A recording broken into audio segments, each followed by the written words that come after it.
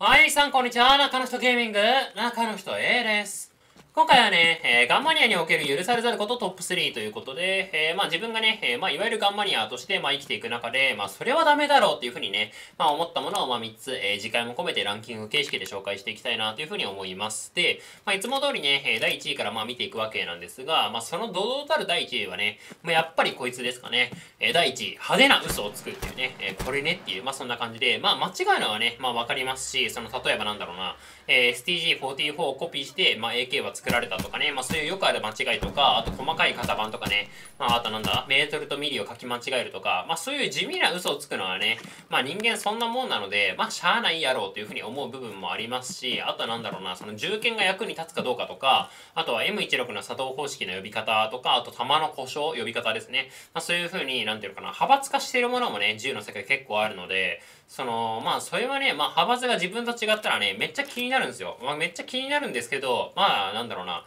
銃詳しくない人からしたらね、なんだそれってなるので、まあ、そういう人もいるよねって結局なりますし、まあ、そういう風になるんで、まあ、それはそれでね、まあ、いいっちゃいいんですけど、でも、あの、派手に間違えるのはね、もう良くないよっていう話で、そういう次元じゃないよっていう話で、あの、まあ、自分がね、これまで読んできた、まあ、銃の本とか資料とかいろいろあるわけですよ、ネットの記事とかね、あるわけですが、えー、てか、これはね、この話は本の話なんですけど、まあ、そういうのを読んでて、まあ、出会ったった最大のですね、盛大な嘘はですね、えー、M4 カービンは M3 カービンの改良型であるっていうね、まあ、これだなっていう。まあそんな感じで、さすがにね、いや、それはないだろうっていうね、もうこれはね、もうなんだろうな、銃詳しくない人が見てもね、あれこれ全然違くねってなるよ、それはっていう、まあそんな感じで、あの、ごくまれにね、えー、派手な嘘をぶちかます人もいるんですが、まあなんでこうなったんでしょうね。まあ多分その思い込みだったんじゃないですかね。もうなんか M1、M2、M3、M4 と続くので、なんか改良型なんじゃねっていうふうに思って多分書いたんだと思うんですけど、なんていうんですかね、そのちなみにその M3 カービンっていうのは、その米軍がね、えー、第二次世界大戦末期とか朝鮮戦争ぐらいの頃に、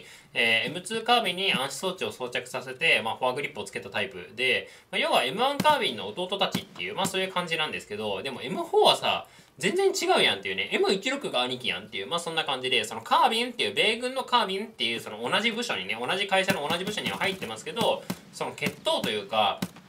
その血筋というか血のつながりというかそういう関係性みたいのはね全然違うやんっていうね。まあそんな感じですよっていう。まあそういうことなのであんまり派手な嘘をつくのは良くないぞっていうまあそういうことで。であとですね間違ったものを訂正しないっていうのもねまあ良くないと。まあそういうふうにね、えー、言う人もですね、まあ、もちろんいると思いますしその社会通念的にはまあそういうふうになってると思うんですけどそのねあの基本的にその世の中というかねまあその特にネット社会っていうのはもう一度ね動画でもまあなんだろうツイッターでも何でもねもう出して、えー、世の中に広まった情報っていうのはまあこれ実際そのネット社会じゃなくても多分本当そういうもんだったと思うんですがその一度出して世に広まった情報っていうのはもう訂正が著しく困難なのでその訂正すればいいわけじゃなくてそのなんだろうな。別に論破したいわけでもない。あなたの間違いを訂正することにそのままこのままで意味があるわけでも何でもないしっていう、まあ、そういうことなのでその訂正すればいいわけじゃなくてその基本的に間違っちゃいけないっていうね。で特に間違っちゃいけないっていうその完璧主義である必要はないんですけどその完璧主義を求められても困りますねあとね。で特にそのなんていうのかな大筋の部分を間違ってはいけないっていうね。まあそういうもんなんじゃないかなというふうに思います。はい。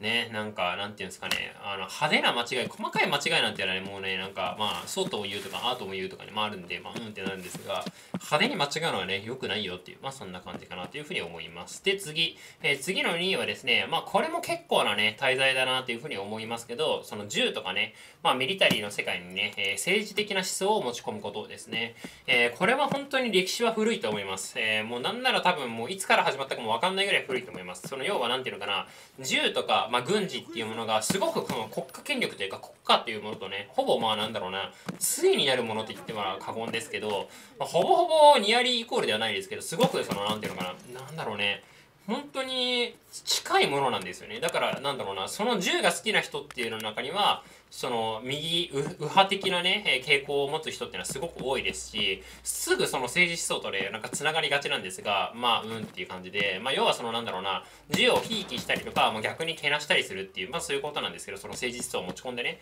まあこれはですね、えー、もうなんかごちゃごちゃ言いましたけどその具体的にね言及してしまいますとその例えばそのなんていうんですかねまあ言ってしまうとねガニー軍曹のミリタリー百科とか見るとですねガニー軍曹のミリタリー百科ネットにもねまあ転がってますし、えー、Amazon のプライムに入ってればプライムビデオでね見れるわけなんですけどまあ見てもらえば分かりますが、えー、まあめっちゃアメリカびいきなわけですよまあ嘘はついてないと思うんですけど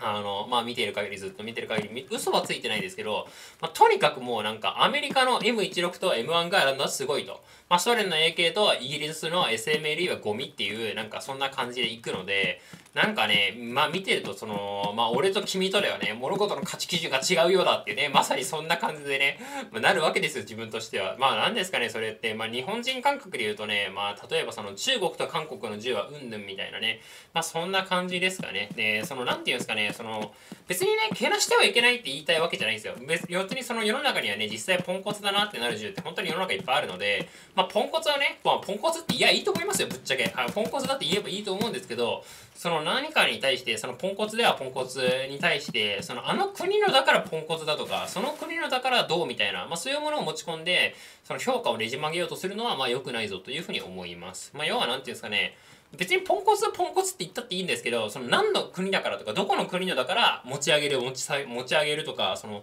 下げるとかどうっていうのはまあ、その客観的な評価をね、まあ、狂わせるので、まあ、良くないよって。まあ、最終的にそれずっと続けてると、その人が結局なんかね、ろくなことにならないですからね、っていう、まあ、そんな風に思います。で、最後3位。えー、まあ、そんなね、えー、話もあるんですが、あとこの話はね、えー、まあ、2位のと若干被りますし、まあ、いいんじゃねっていう気もするんですが、まあ、ミーム化することですね。まあ、要はネタ化することで、